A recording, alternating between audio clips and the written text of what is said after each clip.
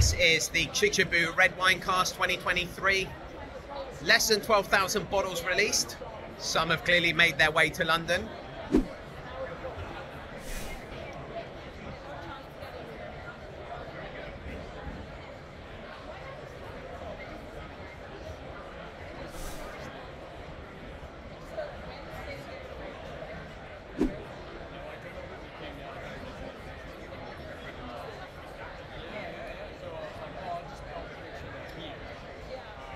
If you have a bottle or a dram, I hope you guys enjoy it. Hmm. Not the most insightful review on Kanpai Planet. Let's go again. The Chichibu distillery is located in Saitama Prefecture, in, you guessed it, Chichibu. They started distilling in February 2008, and on the 1st of September 2023, they dropped this Chichibu Red Wine Cask 2023. What's inside the 700 milliliter bottle? Well, it's 50% ABV, not cask strength, non chill filtered, and natural colour liquid.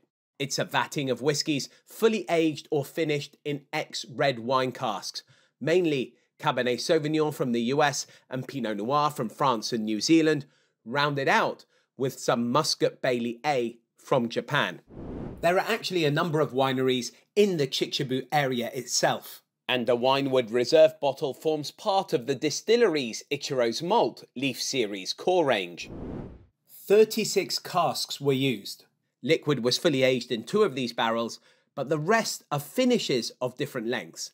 But given that the average finish length was 5 to 9 years, we can think of them as double matured, with the first maturation taking place in 200 litre first fill bourbon barrels made of American white oak.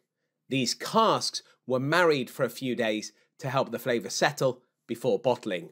The youngest constituent whiskies used are 6 years old and the oldest are 13 years old, all leading to an average age of 9 years. 11,800 bottles were released, making it one of the largest Chichibu drops to date. Half were sold domestically and half overseas. In Japan, it was priced at 16,500 yen, including tax. The distillery themselves are aware that red wine cask finishes are divisive. There are a lot of memes about red wine cask whiskey out there. Wine cask maturation can be notoriously tricky. Director of Whiskey Creation at Dunfeld Distillery, Matt Mackay, explains. The wine brings with it its own natural acidity and also tannins, both from the structure of the grapes, but also potentially from any cask that that wine has already been matured in itself. And that presents whiskey makers with a real challenge in terms of balancing both that acidity and those tannins into their whiskey, not only to harmonize the flavors, but to harmonize the textures so you don't end up with a whiskey that's just too dry or too sharp. Back to the task at hand. As you can tell from my initial review, I was rather neutral. So I tried it again and again and again and eventually sat down in a field to give this bottle a proper review. So I'm here at Keinak Chichibu, about to review the Chichibu Red Wine Cask 2023. Let's check out the colour. That is a beautiful red amber. It's very inviting, so let's see if that colour translates into something interesting on the nose. Hmm. Okay, interesting nose. We've got, it's almost uh, like a, a peaty type smoke actually. A lot of spice.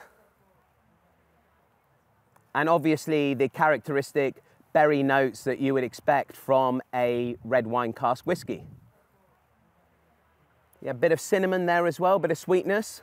Burnt caramel hiding underneath the tannins and the red wine character of the whiskey, but it's not shining through as much as I would have hoped.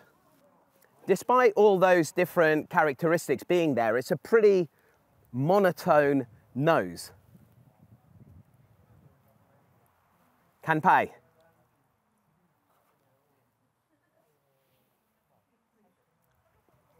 Fairly tannic. I gotta say, initial thoughts, I'm not being wowed by it.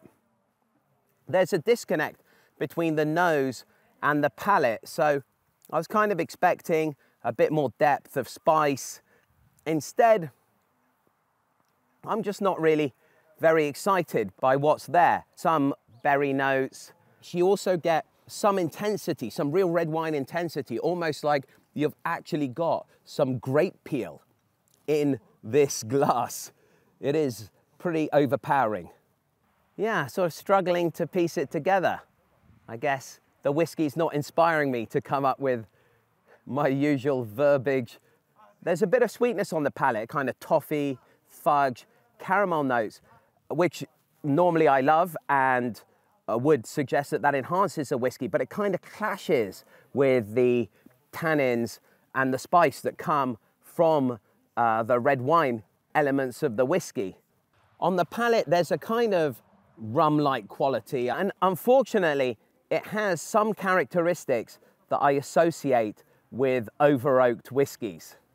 The finish is long, and near the end of the finish, some of the sweetness that I talked about on the nose and the palate does start to emerge, but unfortunately for me, it's a little bit too little too late. So what's the verdict? This feels like a slightly watered down version of some of the Chichibu red wine single casks that have been released. The 50% ABV definitely mutes things compared to the cask strength single cask red wine Chichibus I've tried, such as this Takashimaya Bio Select bottling, weighing in at a whopping 64%.